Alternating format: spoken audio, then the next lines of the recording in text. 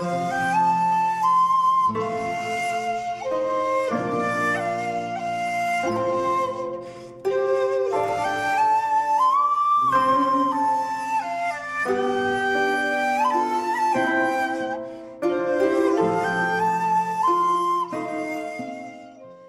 there, this is Solitary Ronin from Solitary Ronin Films. Welcome to our random review.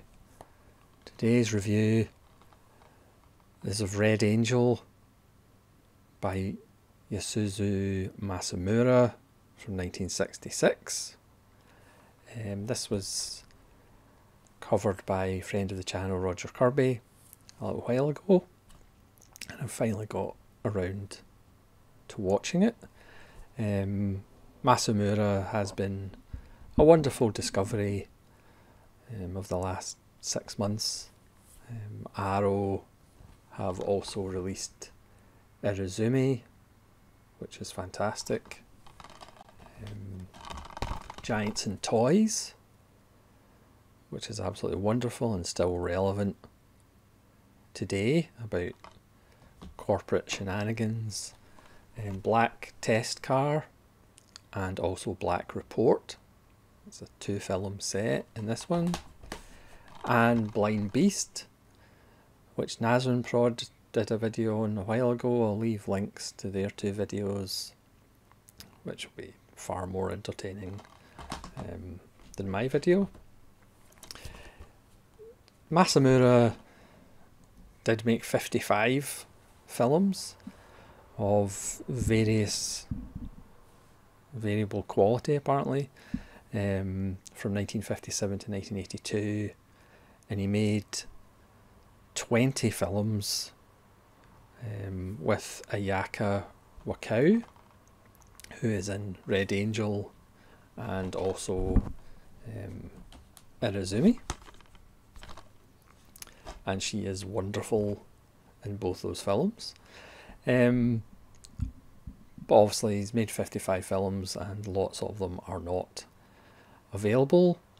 Um, perhaps encouragingly, Fran Simeoni, who left Arrow to start Radiance Films, who will start releasing films in January, he's the executive producer on the supplements for Red Angel, so who knows hopefully we might get a few more Masamura films from Radiance. Um, but that's all conjecture. It's just a hopeful um, thought. So Red Angel is a war film um, about the Japan China war in the 30s and 40s, and it focuses on a 20 year old nurse from Tokyo, played by Wakao, who gets initially sent to an outpost in China and then goes to another location and back and forwards um, and ends up on the front line. Within five minutes of the film, um, she is raped by some patients, primarily um, one patient, and the kind of head nurse is like, oh, this is the third time he's done this to somebody. Um, he is eventually shipped out, and she goes on to her next um, post, where she meets um, the doctor in charge, who is a morphine addict and the guy who raped her comes in as somebody is wounded, strangely enough, um, and so he doesn't think she's going to let him die because of him raping her. I mean, what a, what a thought. She begs the doctor to help him out to try and give him a blood transfusion to help save his life. In return for not necessarily sexual favours because because of the morphine the doctor um, has suffered some damage to his um, ability to have sex but she spends time with him. Um, at night. And this relationship kind of develops as she gets feelings for him. Um, in her mind, she is helping these men out by using her body, even though she also feels responsible for them when they die. So she has this healing view, but she also has this um, I may be killing people. There's another um, patient that comes in who's lost both arms, and he asks her to do certain things for him, which again she agrees to in a way of helping him. Um, but it ends up perhaps making his mental state worse. And then she goes back to the, you know, so she gets bounced around from a couple of locations, but she ends up back with the the morphine addicted doctor, and they end up on the front lines together. Um, so that's the basic synopsis. But what makes uh, Masamura's film special, apart from the central performance, pretty much all the performances really. Um, Masamura's eye for unusual compositions is quite wonderful. The last shot of the film is absolutely beautiful. Um, but it's also, you know, Masamura doesn't sugarcoat anything. Um, in all his films, he does have a kind of Kobayashi kind of political view of, you know, this isn't a celebration of the Japanese noble um, war mentality. This is brutality. You know, soldiers rape or try to rape nurses or rape nurses. Um, you know, in the front lines, there are comfort women who may have cholera, and the soldiers just don't care because they just want to have sex before they die. Um, the looming kind of cloud of death kind of pervades the film.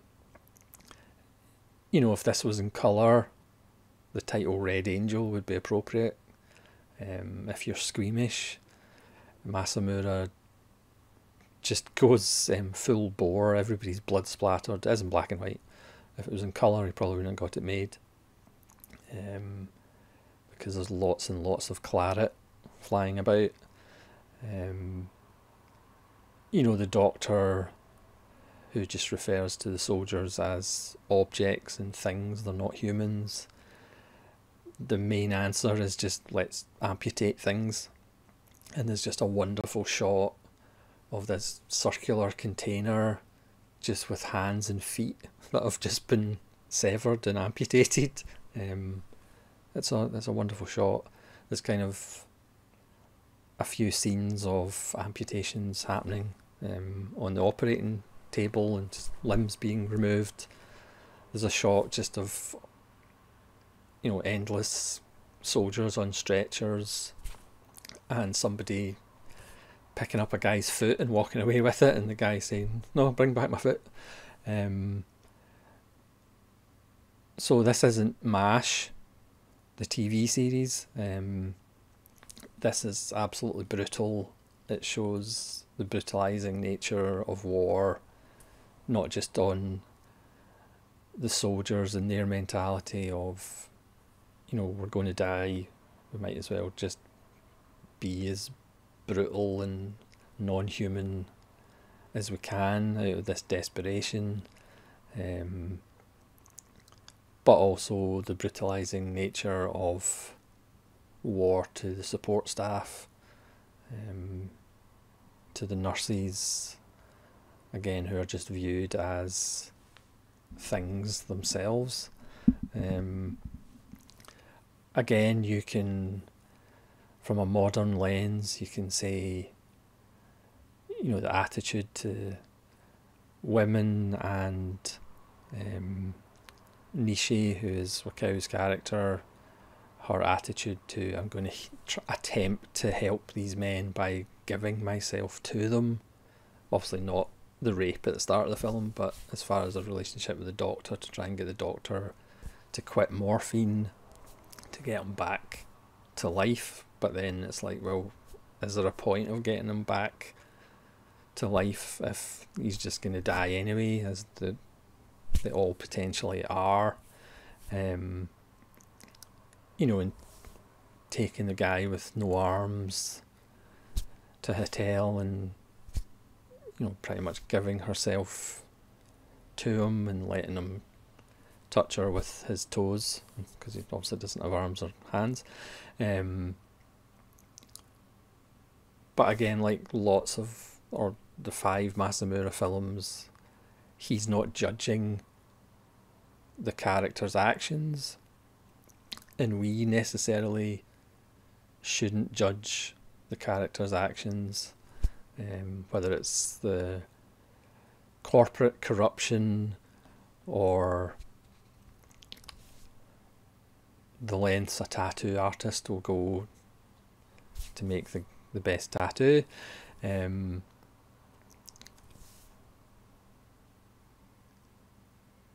Masamura doesn't make those judgments. He's literally just saying, there you go, here's some characters, this is what they're doing. Because um, proper artists don't make judgments. Um, and again, that's why, you know, people like Cronenberg, for example, with Crash, got into so much trouble because he didn't judge these characters, he just shows you the characters. And people like to be told in films who's bad and who's good, and they like to have things clarified.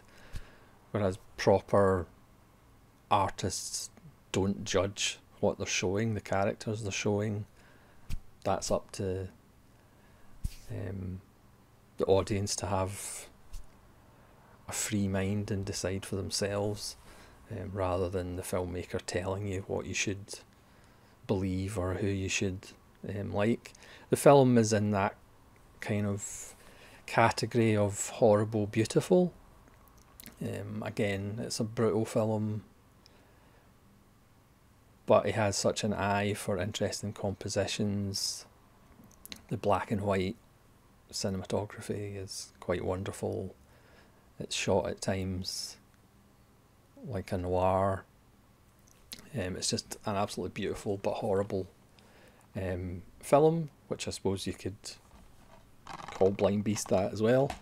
Um, it's a really wonderful addition um, by Arrow, and there's a new commentary by Japanese cinema scholar David Desser.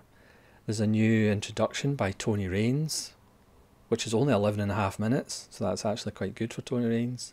Obviously, I'm jesting because we all love Tony Rayns.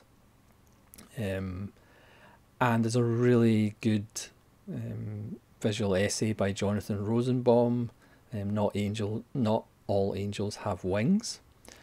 So Rosenbaum has seen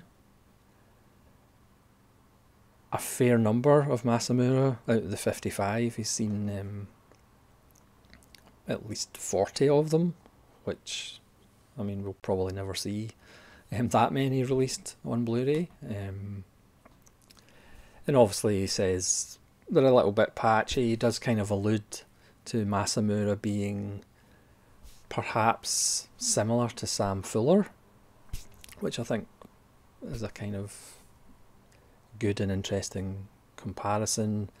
Obviously, says his later work is a little bit patchy or whatever, um, but certainly his 60s films, which most of those Arrow releases are, um, are really quite wonderful. He does say the film that most people say is Masamura's masterpiece um, isn't actually available with an English um, subtitles, so maybe hopefully one day I think that's called A Woman Confesses. Um, I might actually get that wrong. But Rosenbaum's essay is quite wonderful as he kind of looks at the commonality through uh, Masamura's best work. Um, and certainly these five, well, six, because one of them's got Black Test Report and, um, sorry, Black Test Car and Black Report. These are all wonderful films. Um, are any of them masterpieces? You could argue not. But, I mean, Red Angel for me is the closest. Um, it is absolutely wonderful, even though it's horrible. Um, but all of these Masamura films by Arrow are well worth your time and they're all just fantastic um, to various degrees, but all well worth um, picking up.